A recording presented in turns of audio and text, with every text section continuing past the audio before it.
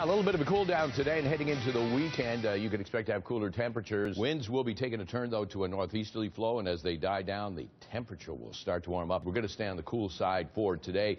Looks like the low, though, is going to become an inside slider. The interesting thing, of course, the winds start off from the northwest, and then they're going to turn to a northeasterly flow. See way off in the distance towards the coastal area. That's where the cloud buildup is. That's where the marine layer and the fog bank exists. And that's where you will see some of those cooler temperatures. But otherwise, most areas already under clear skies. You guys got to come up with some sort of different descriptor when it comes to hail. Years ago, when David Letterman, he was a weatherman, he, he said once uh, the size of canned hams. Yeah. There you go. And I heard he actually got fired from doing the weather because he said something like that. He managed to bounce back on his feet somehow. And I will give him credit for the gloves. Anybody have a hairnet for my chest?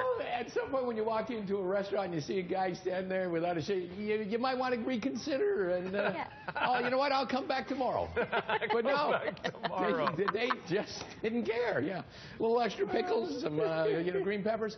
Um, skies are starting to clear out at the beaches. Got some clouds moving in across Southern California. The marine layer pulling in. We don't have any particular systems, but hopefully we'll get some clearing skies through the afternoon. Big changes for the weekend. 61 to 57 at the moment. Expected highs anywhere 71 to 75. The sun coming up. There's other factors such as the humidity is going to be dropping off and the temperature is going to be rising. And also the winds over the next couple of hours will be changing direction. Uh, by 12 noon at this point, uh, 12 noon is when the wind advisory and the uh, warning uh, will expire. Whether it'll be extended or not, I'm not sure, but they are dying down. How do we know he's okay? Right. You know, for, for- you okay, ask maybe physically, but you know, emotionally, this was a bit. You know, he's not okay.